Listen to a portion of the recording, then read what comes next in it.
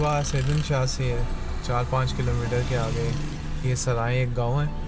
यहाँ से right side पे सिक्की लेक के लिए और आगे दो थलियाँ डैम है, वहाँ पे रोड जाती है। ज़िला चकवाल की एक तहसील जुआ सैदन शाह अपने खूबसूरत झीलों और पास पुराने मकामात की वजह से एक नुमाया हसीियत रखती है।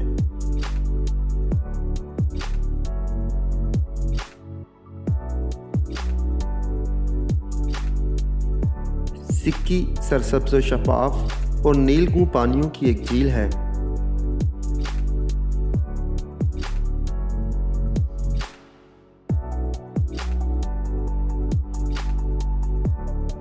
झील पहाड़ों के बीचों बीच वाक़ है, जबकि इर्द गिर्द के पहाड़ ज़्यादा बुलंदो बाला नहीं।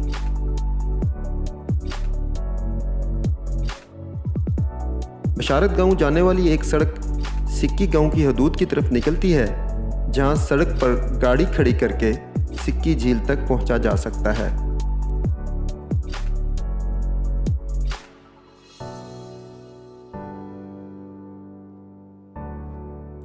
सिक्की झील काफ़ी हद तक खंडोआ झील से मुमासलत रखती है।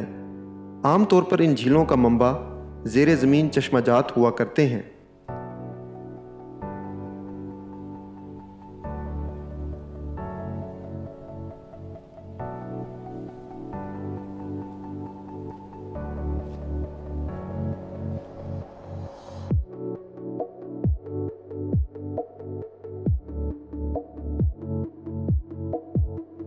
झील के कप में झरना नुमा छोटी सी आबशार गिरती है।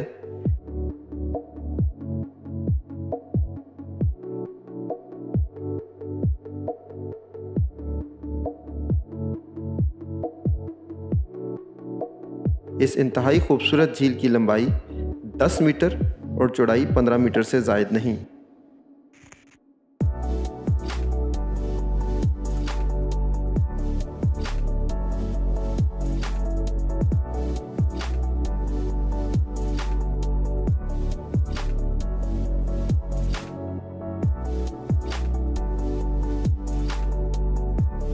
कुदरत का शाकार, बज़ाहिर छोटी लेकिन हसीन सिक्की झील, इस बात का सबूत है कि तख्लीक करने वाले ने हमारे वतन अज़ीज़ को हर तरह की खूबसूरती से मुजैन कर रखा है।